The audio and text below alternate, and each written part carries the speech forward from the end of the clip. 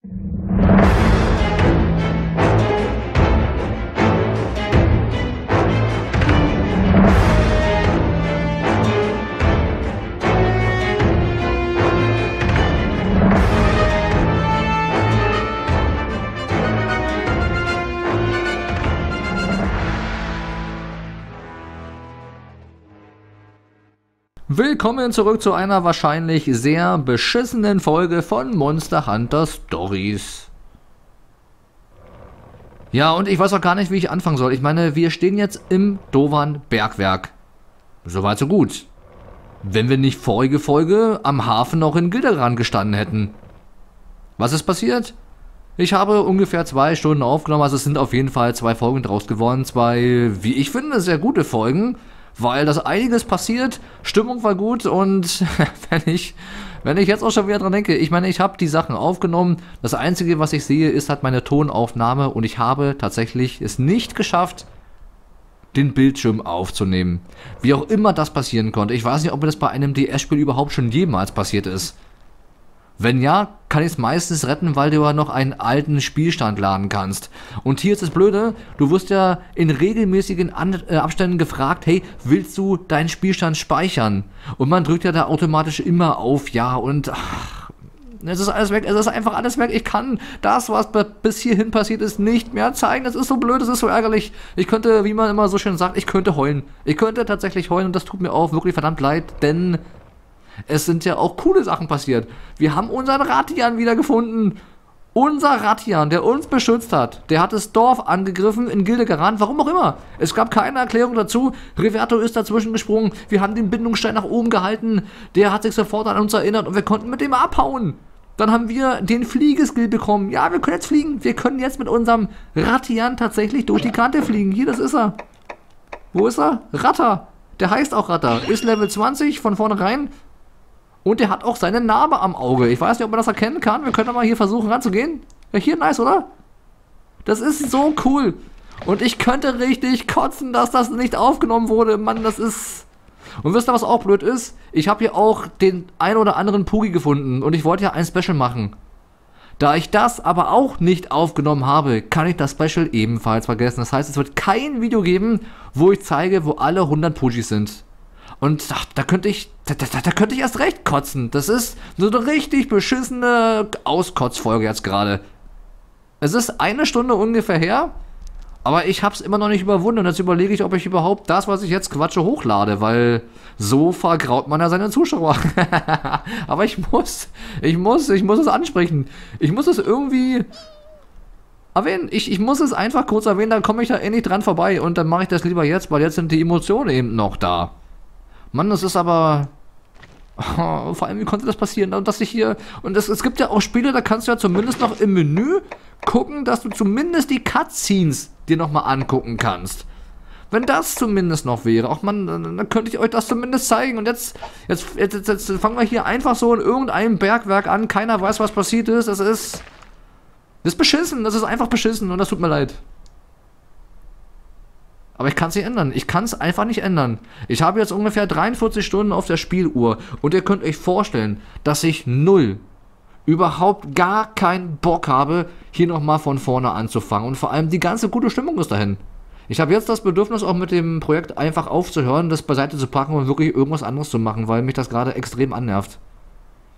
Ich hoffe, dass ich das dann auch irgendwie legen wird, aber deswegen wird die heutige Folge auch erstens nicht so geil und zweitens wird sie eben auch nicht so lang, weil hm, ich hab mir fehlt echt, echt gerade die Lust. Aber machen wir das Beste draus. Machen wir einfach das Beste draus und Ach, machen wir es schwor, du kannst ja nicht das Beste draus machen. Das Beste draus machen heißt, du kannst es noch irgendwie mal von vorne starten und dann nochmal alles zeigen. Aber ich müsste alle Pujis neu sammeln. Ich müsste das auch alles wieder neu aufnehmen. Also die Pujis. Für Special meine ich. Bis zur, bis zur Story zu spielen dürfte vielleicht gar nicht so schwer sein. Könnte man. Ich weiß nicht. Hat das schon mal jemand probiert? Durchwaschen? Vielleicht ist man hier innerhalb von ein paar Stunden durch. Wenn man alles gibt, Ach nee, dann müsst ihr aber auch alle Monster wieder sammeln. Oh nee, das mache ich nicht. Das, das, also egal was passiert, das mache ich auf keinen Fall. Es ist einfach ein, ein klassischer Griff ins Klo. Dann, was ist sonst noch so passiert? Ich habe in der Zeit meine erste Waffe aufstärken können, und zwar auf Max. Das ist die Ausrüstung hier. Stufe 5 ist wohl das höchste. Und das Schöne ist, hier, die kann man sogar noch weiter aufmaxen. Man braucht dafür aber Materialien von einem Diablos Plus. Ihr kennt es noch von den normalen Monster Hunter Teilen, das sind dann immer Monster, die es im Endgame gibt, also stärkere Varianten. Und das ist auch cool, ein, ein weiterer Grund zur Freude, aber das war jetzt hier so wirklich mittendrin. Oh, ey, es ist. Oh, doppelt hart. Das trifft, also, das trifft mich schon wirklich derbe. Es ist ein, ein richtig starker, doppelter Schlag direkt ins Gesicht. Mann, ey, die ganze, die ganze schöne Zeit hier auch für die Specials draufgegangen sind, alles dahin. Es ist einfach mit diesem einen Fehler komplett dahin und ich weiß auch ehrlich gesagt gar nicht, wo der Fehler liegt, weil die Aufnahme ist genauso gestartet wie, wie immer. Du drückst eben auf einen Record-Knopf, prüfst, ob der Record-Knopf eben angezeigt ist und meiner Meinung nach war er angezeigt. Und du prüfst, ob eben die Stimmaufnahme funktioniert. Die wird ja permanent angezeigt. Und da das meiner Meinung nach alles so funktioniert wie immer, habe ich die Sachen auch aufgenommen, aber tja. Shit happens. Shit happens. Mal gucken, wo wir hinkommen. Und ich werde das Video dann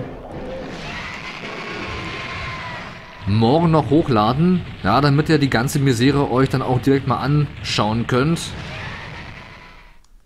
Und oh, wie lange das auch dauert, ehe man über so eine Sache hinweg ist. Ich meine, an und für sich, ich meine, es, es gibt, es gibt, es gibt so viel Schlimmeres. Ich meine, es gibt Kinder, die ihre Eltern verlieren, es gibt Obdachlose und so weiter. Ich meine, ich mecker rum, weil hier irgendwie eine Aufnahme nicht funktioniert hat. Aber, ja, so, so, so ist das Leben. Ja, ich meine, das sind so Momente, da, da kann man mich eigentlich eher auslachen, weil es gibt wirklich einfach viel, viel Schlimmeres im Leben. Ja, das ist auch so. Das ist mir auch durchaus bewusst. Aber wenn du halt Gamer bist und dir sind halt solche Sachen wichtig, ich weiß nicht, was man das vergleichen kann. Stell dir einfach vor, du hast irgendein Hobby, was dir extrem wichtig ist und, und die ganze Zeit, die du rein investierst in dein eines Hobby, keine Ahnung, vielleicht macht es dir Spaß, fremden Leuten die, die Fußnägel abzuschnippeln und dir diese Fußnägel zu sammeln. Ja, in, in äh, mehreren 1 Kilo Kanistern. Und du hast Freude daran, dir diese Fußnagelsammlung anzugucken, weil du dir in deinem Regal wie andere Amiibo-Figuren drin stehen hast und dann ist irgendwann einfach mal deine Fußsammlung weg. Ja, da könntest du kotzen.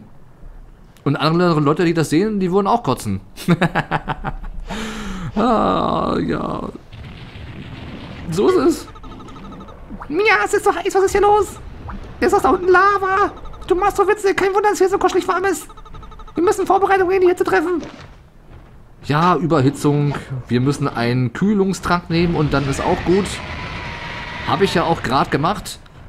Und ja, storytechnisch, wir haben echt, wir, wir, haben richtig viel verpasst. Wir haben so richtig viel verpasst, wo ihr auch mal richtig schön reinschreiben könnt, wie scheiße das gerade ist. Und ihr habt recht, ihr habt einfach mal verdammt recht, es ist scheiße, es ist mega scheiße. Und vor allem die Szene, man, ich erinnere mich so, so, so, so gern zurück, wie, wie unser Ratter wirklich angeflogen gekommen ist. Das sah so cool aus und wie Riverto noch dazwischen gesprungen ist, weil die anderen Dorfbewohner, ich meine, unser Ratter hat ja das Dorf angegriffen, wir wissen ja nicht warum. Und die anderen wollten den natürlich erschlagen. Wir haben uns dazwischen gestellt, weil wir haben ja die Narbe am Auge gesehen. Das war ja die Narbe, die er bekommen hat, weil er uns beschützt hat. Und Reverto hat's gecheckt. Der hat sich für uns eingesetzt. Und wir wissen auch gar nicht, was mit Reverto ist. Normalerweise müsste der als, als Dorfverräter dastehen. Ja. Hätten wir alles schön sehen können, wenn der Olle Let's Player es geschafft hätte, diese zwei Folgen auch erfolgreich aufzunehmen. So, den Text habe ich jetzt nicht gelesen. Ich bin in Gedanken noch beim, äh, beim Ratter. Oh, was nun? Lorenfahrt?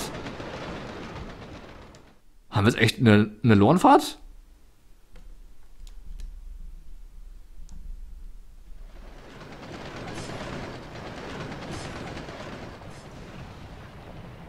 Ich dachte jetzt gerade, jetzt kommen wir hier zu so einer Art Minigame. Das wäre cool. Wo wir ein paar bestimmte Knöpfe drücken müssen, sonst, sonst müssen wir wieder vom Startpunkt anfangen. Rangierbahnhof. Aber das Setting sieht ziemlich cool aus. Ja, ich meine, das, was wir jetzt machen, ist, denke ich, klar. Ich werde jetzt hier versuchen, so schnell es geht, zum, zum Boss zu gelangen. Wenn ich denn hier richtig lang laufe. Ach, guck mal, hier ist die Abkürzung. Das ist der Fels, den äh, das Dorf gerne weghaben möchte. Da müssen wir eine große Fassbombe hinsetzen und dann kommen wir nämlich dann auch zukünftig von dort lang. So, und hier komme ich nicht weiter. Da komme ich nicht weiter, da ist eine Wand. Ich weiß nicht, ob ich mit meinem Rad da hochfliegen kann. Oder ob ihm das zu heiß ist. Aber unten ist ja erstmal der Questmarker. Naja, dann, dann äh, mal sehen, wie sich meine Gemüt auch beruhigen wird. Vielleicht kriegt er wieder Bock. Vielleicht ist das auch alles gar nicht so schlimm. Na ja, doch, finde ich schon, weil ich hätte schon gerne dieses Special gemacht, weil dieses Sammeln von 100 Pujis, das ist ja, das hilft ja immer anderen. Und dass jetzt einfach mal die ganzen Pujis weg sind, ist einfach... Ich meine, das machen sich nun mal auch nicht so viele Leute die Mühe, ne? Man kann zwar online alles nachsehen, wo was versteckt ist, aber es gibt halt keine richtig guten äh, Deutsch- oder Englisch-Foren oder gar Videos, die dir das aufzeigen. Mir zumindest nicht bekannt. Vielleicht ist jetzt schon ein Video draußen, kann durchaus sein.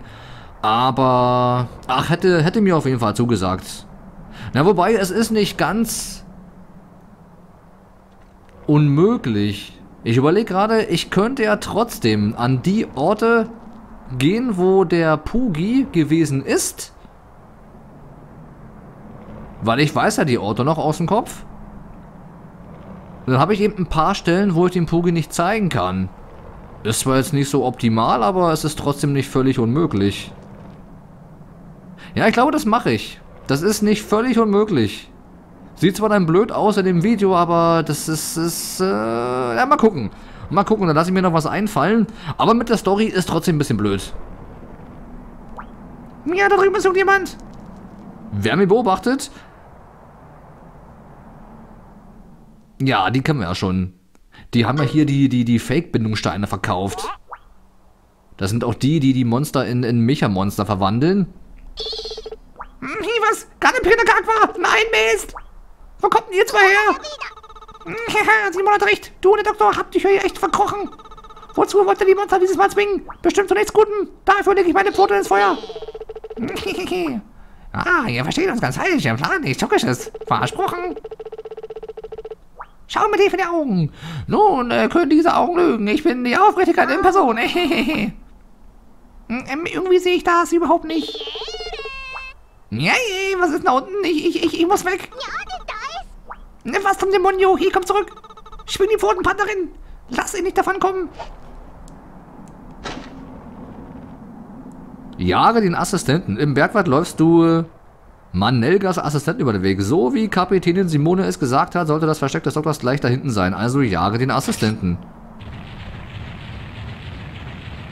Ja, ich meine, ich kann da eh erstmal nur in eine bestimmte Richtung laufen. Ich weiß nicht, ob das dann als, als Jagen zählt. Ist ja eher so, so ein Verfolgen und dann in die Enge treiben.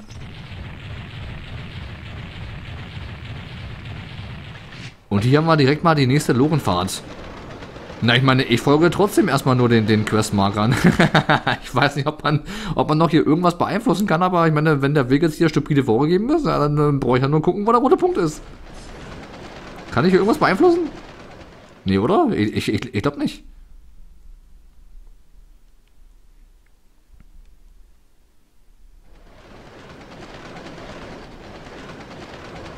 Ach, jetzt sind wir von der anderen Seite rübergefahren. Verstehe. Dann müssten wir jetzt ja alle Wege abgekreuzt haben. Ja, abgekreuzt.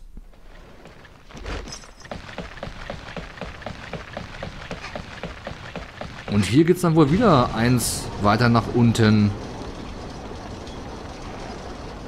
Nicht, dass dieses Bergwerk so enorm groß ist, dass aus meinem halt, komm, spielen wir es mal kurz durch, ein, ein weiterer 2-Stunden-Part wird, den ich... Nee, diesmal läuft die Aufnahme. kann ja sein. Es kann ja sein, dass hier schon wieder irgendwas schief läuft. Vielleicht läuft ja auch die Stimmaufnahme nicht. Was mache ich denn dann? Kurz abgeklärt. Also die Tonaufnahme, die scheint zu funktionieren. Ja, deswegen hier eine kurze Unterbrechung. Und wir haben auch hier den, den äh, nächsten Kazawan-Stand erreicht. Dün. dün, dün. Ja, wir haben dich, Gear. Aha, ich habe nicht erwartet, dass ihr es so weit schaffen würdet. Und nun fürcht ihr nahe schon wieder meiner Forschung rum. Hm, Aber eure Pläne wurden nicht gekreuzt. Hier ist Endstation für euch. Auswegslos. Juck, juck, juck, juck. Wichtige Sache muss man zweimal sagen. Das ist das letzte Mal, dass mir nicht wiederkommt. Adios. Ihr nervt mir noch weiter. Okay, er hat schon mal irgendein Ass im Ärmel. Vielleicht hat er ja den Agnaktor auch irgendein eine, eine Mecha-Ausrüstung verpasst.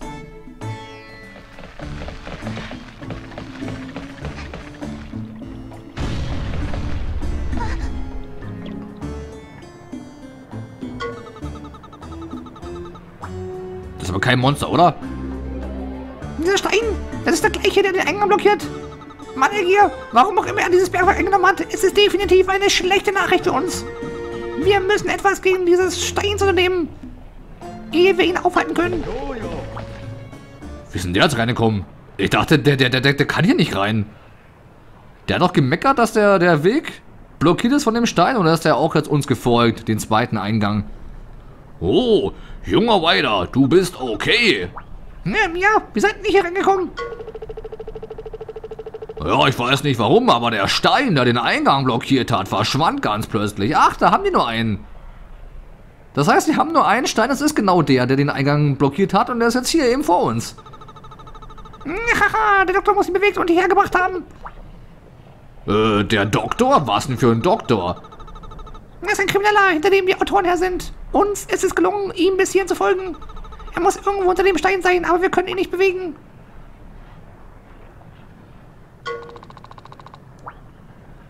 Ihr braucht eine große Fassbombe. UG. Ja, das wissen wir schon. Das hat ja der Dorfchef hier auch gesagt. Alles, was ich brauche, um den zu bauen, ist ein Flammenstein. Hm, hörst du das, Partnerin? Finde einen Flammenstein und wumms ist der Weg zu Manegier frei.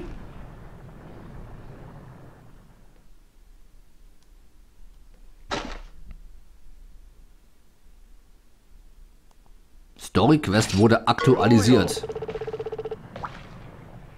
In der Feline-Siedlung könnt ihr euch den Flammstein schnappen. Um zur Siedlung zu gelangen, müsst ihr am Rangierbahnhof die Lore von Gleis 1 nehmen. Ihr müsst jedoch die Weiche umlegen, bevor ihr in die Lore einsteigt, um dessen Bestimmungsort zu ändern. Ich habe euch die Weiche auf der Karte eingezeichnet. Und er wird hier ein paar Vorbereitungen treffen.